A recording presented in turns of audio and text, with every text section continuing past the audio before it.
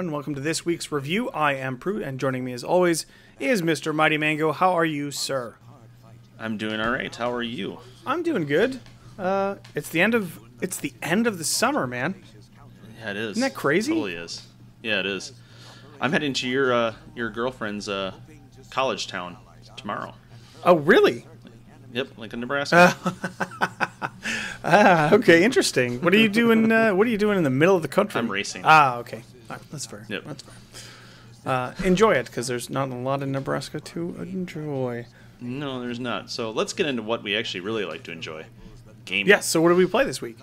Uh, We played an old one. This actually we have been playing a lot of new games. This is an older one. This is Octoon Cthulhu Bless you. Tactics. Yeah, see, I knew I was going to say it wrong. No, no, no. C- Cthulhu, Cthulhu Tactics. It's actually Achtung It- because Achtung. like there's an exclamation mark after the Achtung. Yes. Sorry, I didn't. Achtung. And then English words behind it.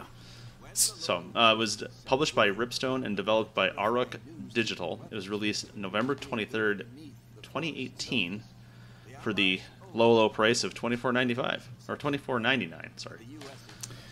And it is a turn-based strategy game. Yes. So how familiar are you with turn-based strategy games? My history on turn based goes back to Final Fantasy Tactics, which was a fantastic game, and the original um, Vandal Hearts, Oh. which was on PlayStation as Okay. well, which was uh, an M rated title back then because it had blood, or digital blood. Um, okay. I, I think my origins go back to Advance Wars, and okay.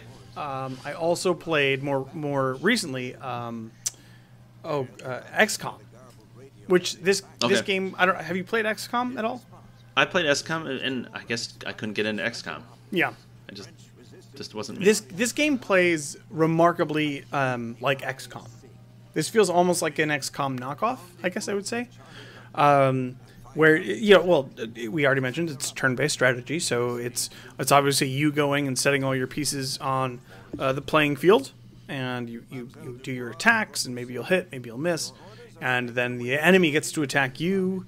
Um, it's turn-based. It's it's strategy. It's it's if you've ever played any of those types of games that we've mentioned, it feels um, like it's not really uh, a stretch to say it plays similarly to all those games. It's not like this game is super innovative. It's very much in the mold of those games, I'd say.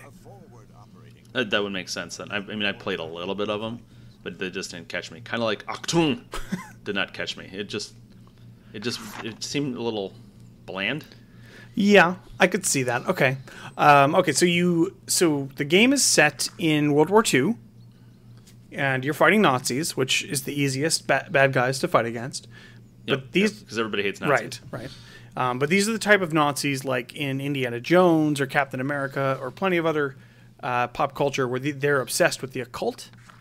So they're trying to, uh, you know, dredge up things from the depth, and and of course there's a, there's Nazi crossover with Lovecraft, so you get Cthulhu.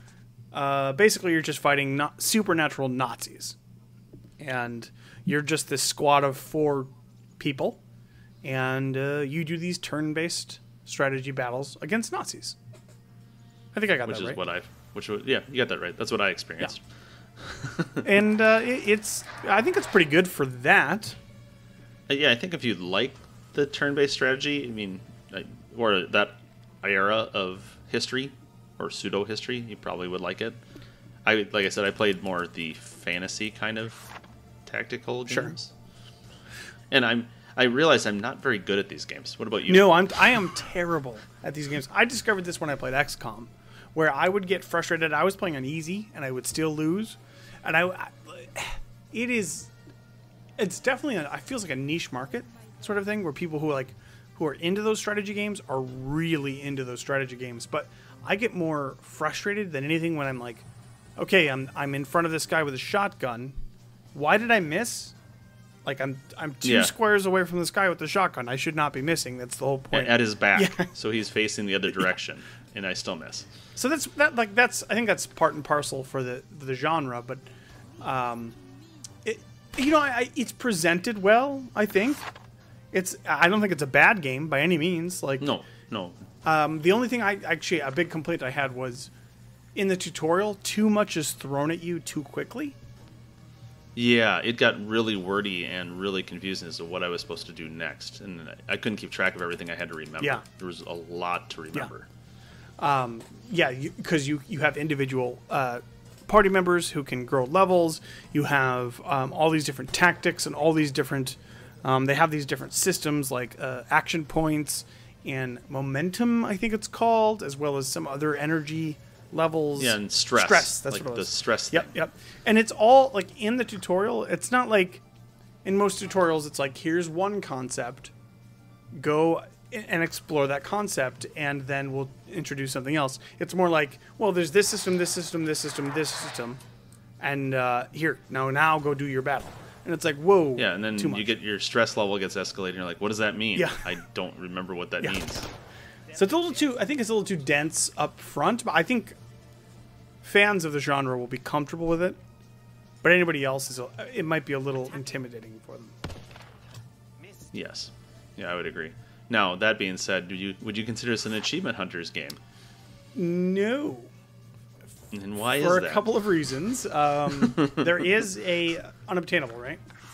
Correct. Yeah, the it is it's one of those games that suffers from the get all the achievements, get this achievement. Achievement. Which nobody has that achievement. Correct. So thanks. Um, so I got the sense that it's not a terribly long game. I didn't get super far into it, but I'd say I don't know, maybe like a twelve-hour game. Yeah, probably about 12 hours. If and it would there's only 202 people that have played it, which maybe more people would play it if it was completable. I think once the, in our community at least if a game is deemed as you can't finish it, not a lot of people seem to touch it anymore. Yeah. So I think um, I think it would be doable. It wouldn't even be that terrible um, if there was not an unobtainable. Honestly. Yeah, yeah, because most of them are like kill. I mean, for achievement wise, a lot of them are seem very doable. Nothing real difficult. Right. Yeah, except it just seems to be that the one that you can't get is the, the one obta- unobtainable is the one that uh, just doesn't work. It seems like. Yeah. Other than that, it's, this list is actually pretty decent. There's let's see, uh, there's uh, 30 achievements, and it's 3,500 TA right now, ex- obviously excluding the unobtainable. Ah man, I, I think if they fix it, it I, I can imagine that coming down quite a bit.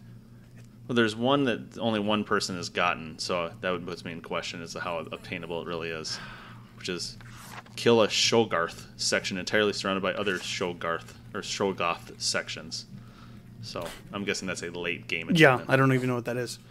I d- for my four hours into the game, I don't know what the that is, but uh, uh, yeah, I don't know. I, honestly, I actually think this is actually probably a pretty decent game for people who are really big strategy fans. You have to like the strategy, the turn-based strategy, Yeah. because I thought I was okay with it, but I'm not. Uh, the presentation is is okay. It's decent. The the graphics aren't anything to be blown away by, but it's good it- for what you're doing. You're fighting Nazis and and monsters, and um, it feels it has that same vibe that XCOM has. I don't know. I just um, it wasn't. It didn't blow me away. It just felt like you. I think you mentioned kind of generic or kind of middle of the road. yeah, just kind of eh. Yeah. Didn't do anything special. Didn't do anything bad. Didn't anything, didn't do anything special either. yeah, just doesn't s- set itself apart from from any of the other turn-based strategy games. So, um, it's twenty five bucks. I So for that price, you might as well just play XCOM. yeah, I would definitely say play XCOM. I I I got equally as frustrated as XCOM, but I had a lot more fun with XCOM. Yeah. Um, a little more polish. A lot, yeah, a lot more polish. But hey, if it's a steep discount, they fix the unobtainable, and uh, you're really into the genre, I'd say give it a shot. If it was fifteen bucks, ten bucks, yeah, why not? Yeah, I agree. All right. And that was Achtung! Cthulhu Tactics.